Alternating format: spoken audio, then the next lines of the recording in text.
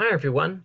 In this video we're going to be talking about naming hydrocarbons, thinking about the systems and processes that we use to come up with a unique name for the hydrocarbon structures that we come across. Uh, now these rules are things that we will come across and we will use in all sorts of areas. We're introducing them first in this module, but we will revisit them again um, in subsequent modules. Okay, so let's begin with an overview.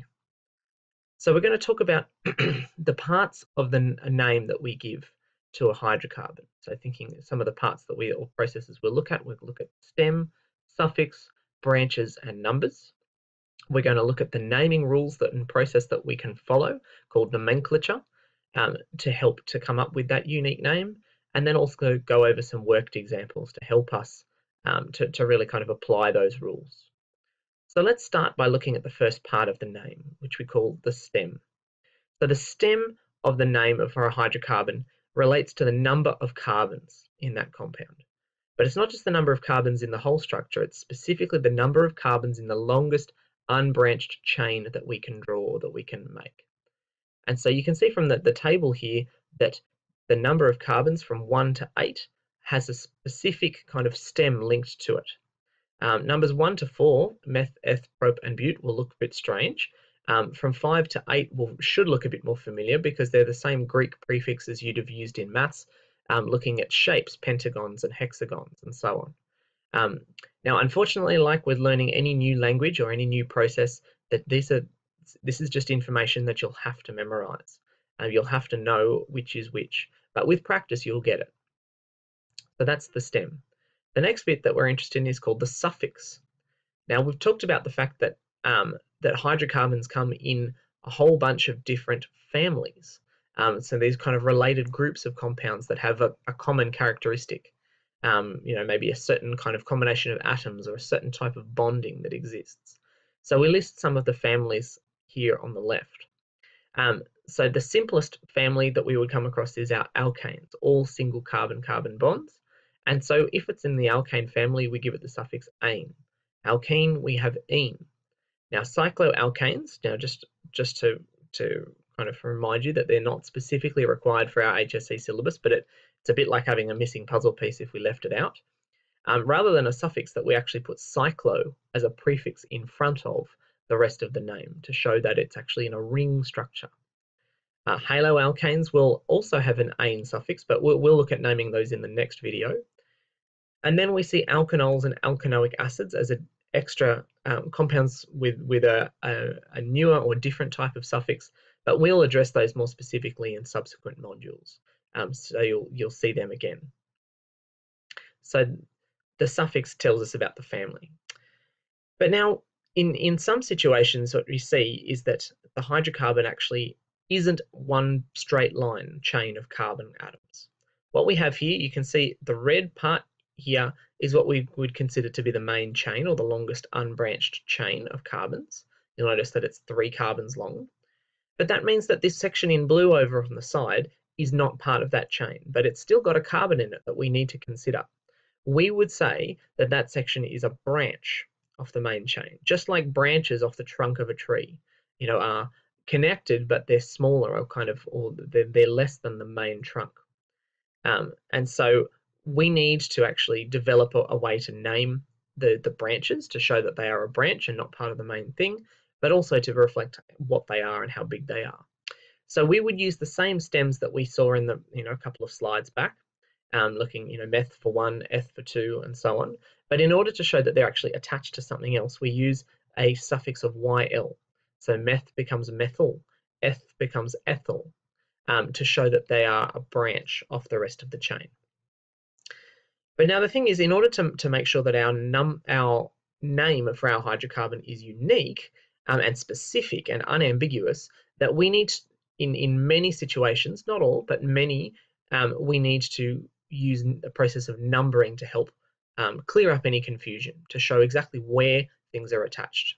So you'll notice in the, the pictures here, I've got the same image of the same compound twice. I'm going to show you uh, how we can actually use a process of numbering to help us here. So these numbers have the technical name called locants. Now, I'm not really going to use that term very much, uh, or I'll get only as much as I have to, um, because that is the technical word, but most people don't really talk that way. Um, yeah, but so that's just so that you know the technical label. Okay, so what we do is that we assign numbers to each functional group in the compound. Now this is a haloalkane, we'll talk about in the next video. So because it has a bromine atom in place of one of the hydrogens. Um, and so what we want to do is we want to um, use numbers to show which carbon that's attached to. So we have to we number each of the carbons in the chain. Now the thing is we can number from either end of the chain. Both would be possible. So you can see here on the left, I've got numbers one to four from left to right. That's the red writing. And then on the blue writing, I've numbered from right to left instead. Now the thing is that both of these are equivalent. Both, both of them we could say that we could do, but the reality is that we always have to make a preference. and the overriding principle here is that we pick, we number from whichever end gives us the lowest possible number for our functional group. So we see that the, the one on the left gives us uh, the number for 2 for what the carbon that's attached to, whereas the one on the right gives us number 3. 2 is lower than 3, therefore that numbering that way is the preference, and that's what we would use. Okay, so when we're using the numbers, um, you know, that we, we, yeah, we use that to, yeah, I'll, we'll talk about it a bit more in a minute. Okay, so then looking at multiple functional groups. So you can come across an example like this one, um, where you can see that you have two different or you know two separate functional groups. In this particular example, they're identical to each other. Um, they don't have to be, um, but we need to be able to identify that we have more than one of the same functional group, or more than one functional group.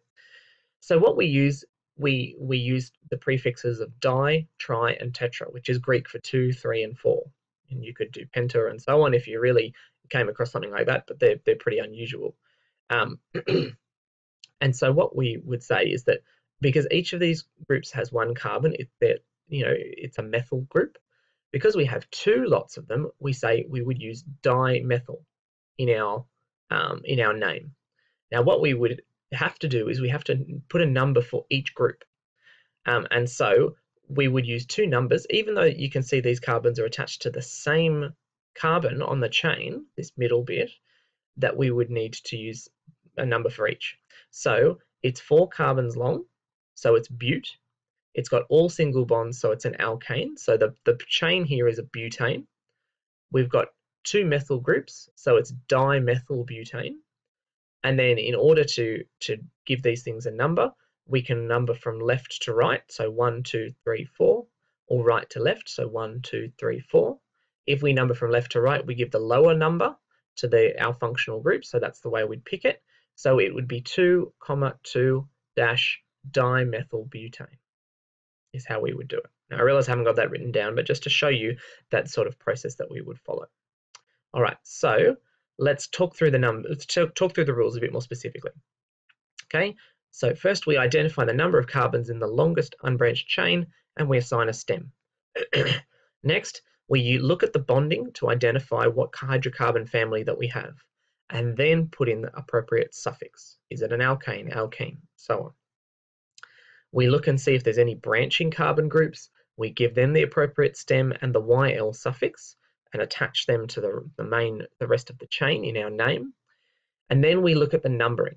So we want to get the lowest overall set of numbers or locants. That's the goal that we, the one that we're going to pick.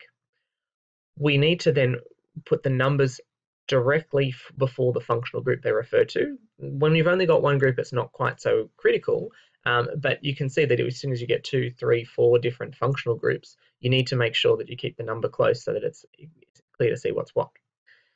We also, by convention, thinking about, you know, like if we're learning a new language, this is some of the grammar, that the we use hyphens between when we write down numbers and words, so a hyphen between numbers and words, and if we happen to have more than one number, in the in a set, like in that previous example, we use a comma between it. So we would have two comma two hyphen um, uh, hyphen dimethylbutane. Okay, so let's look at, we'll go through two examples to finish off. Okay, so looking at the structure that we've got here, you can see there's lots of different things going on. The first thing to look at is to count up how many carbons we've got in our longest chain. So we can see we've only got one chain here. We don't have any branches to worry about. So, and it's six carbons, which means it's, the stem is a hex. Now, the thing here is we look, got to look at the bonding. And we can identify that we have a double carbon-carbon double bond going on. And so what that does, that means that we're now part of the alkene family. So we have the suffix of "-ene". And so then what we have to do is we've got to follow our process of numbering. Now, if we number from left to right, one, two, three, four, five, six, we see the carbon-carbon double bond is between four and five. If we number from right to left, we see it's between carbons two and three, which is lower. So that's what we're going to pick and stick with. So you can we can imagine that the other numbers have disappeared. Okay, so the, the double bonds between carbons 2 and 3, so we would say that it, its number is the 2, the lower of that pair, and so then we'd give it the name of 2-hexene. Notice that we have the hyphen between the number and the word. Let's look at the last example to finish off. Okay, so here again, the structure looks a bit complicated, but the process is simple once you kind of follow it through. Um, all right, so what we what we have here, we look at again look at our longest carbon chain. Okay, so we can count up one, two, three, four, five. So we have our stem is pent. We look at our bonding and we can identify this functional group over here on the side that's not carbon or hydrogen. That OH group tells us that it's part of the alkanol family, so it'll have the suffix anol. So we've got pentanol as kind of the, the, the base so far. Now, same process of numbering. We can number from left to right, or we can number from right to left. Now, in this situation, it actually doesn't matter because you'll notice that both in both ways that the carbon that we're talking about here is carbon number three. So it has the locant of three, so we would give it the name of 3-pentanol. And so there we have it. Thanks very much for watching, guys. Bye for now.